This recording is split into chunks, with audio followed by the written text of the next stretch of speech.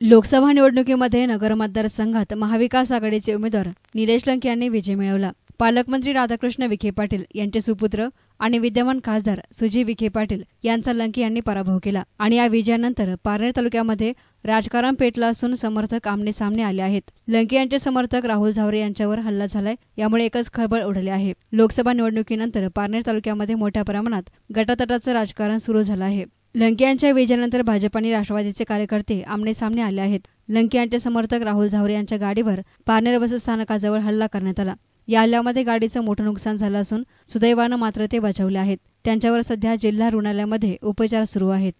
S मीडियासाठी प्रतिनिधी सार्थक थोरात अहमदनगर.